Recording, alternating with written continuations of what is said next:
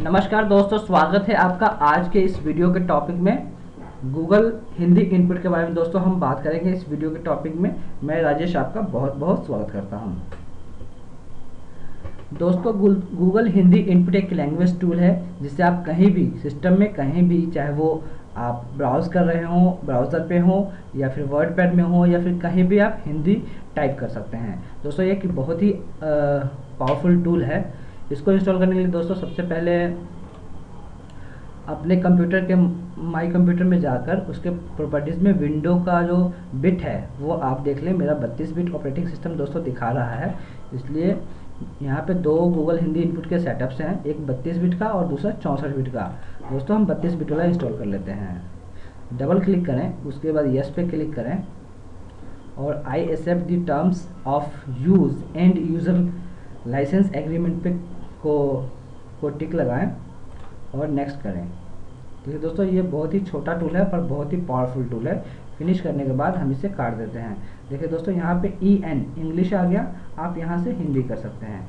दोस्त, दोस्तों, चलिए इसको हम ब्राउज़र में यूज़ करके देख लेते हैं। देखिए दोस्तों,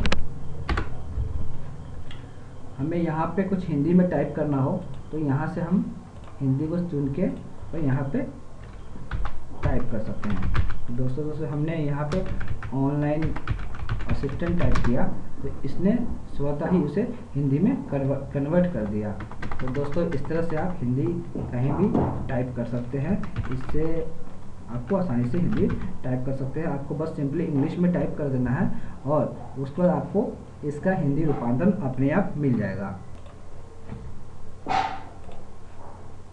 हम वर्ड में भी टाइप कर सकते हैं।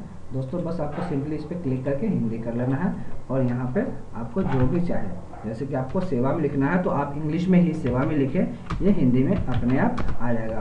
तो दोस्तों, इस तरह से आप आप इंग्लिश टाइप करके उसे हिंदी में आसानी से कन्वर्ट कर सकते हैं। दोस्तों, ये बहुत ही पावरफुल टूल है और गूगल की तरफ़ से ये फ्री अवेलेबल है। दोस्तों, इसे मैं अपने डिस्क्रिप्शन में आपको लिंक दे दूँगा और आप वहाँ से इसे डाउनलोड भी कर सकते हैं और इसे यूज़ कर सकते हैं। दोस्तों इससे इससे आप हिंदी कहीं भी टाइप कर सकते हैं। ये धन्यवाद दोस्तों। वीडियो अच्छी लगे तो लाइक शेयर और कमेंट करना ना भूलें।